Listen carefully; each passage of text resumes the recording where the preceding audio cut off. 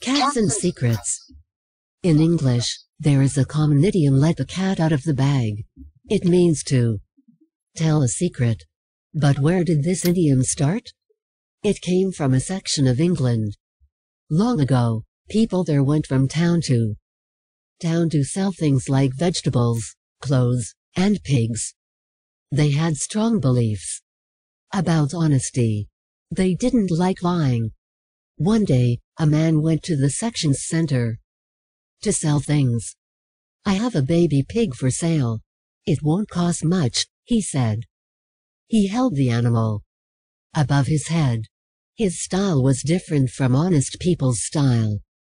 He was a master of tricking people and lying. A woman named Beth scanned his pig. He offered her the pig for one gold coin. That was a very small amount.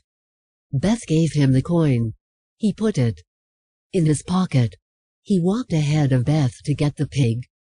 He gave her a closed bag and said, Here's your pig. He then left. Very quickly. Beth looked at the bag's surface. It was moving. She opened it. To let the pig out. A cat was inside. He tricked me.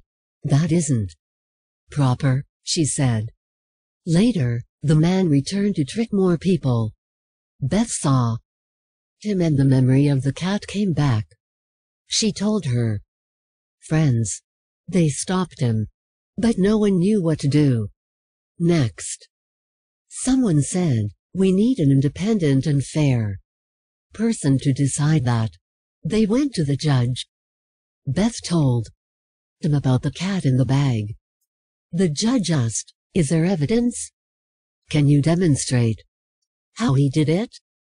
Look in his bag, said Beth. She opened it and let a cat out of the bag.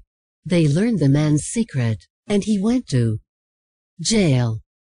That's how the idiom let the cat out of the bag came to mean to tell a secret.